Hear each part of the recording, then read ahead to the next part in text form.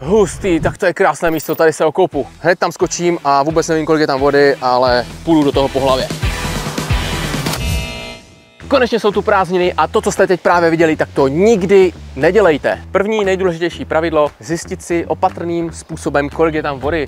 Takže klidně si tam ponořím pomaličku kotníček, vlezu si tam, projdu si to, ideálně třeba v moři použít šnorchl, brýle, potopit se tam, proplavat si to, zjistit, jestli je tam aspoň třeba 2,5 metru vody a pak si tam skačte prakticky co chcete, ale ne samozřejmě z 10 metrů. To by zas bylo té vody málo. Když tohle nedodržíte, co se vám může stát? Spoustu lidí skočí třeba rovnou šipku, může tam být třeba i metr a půl, ale když tu šipku skočíte moc kolmo, krční páteř, můžete i ochrnout. Takže opravdu bacha na to a taky dávejte pozor na to, když budete skákat třeba někde do bazénu a budete vědět, že tam je třeba metr a půl, ale skočíte tam po nohách z výšky, můžete si klidně odrazit paty, rozdrtit, kotníky, polámat, takže i na tohle myslete a hezky ten dopad, když tak stlumte, nebo tam skočte radši prdeláče.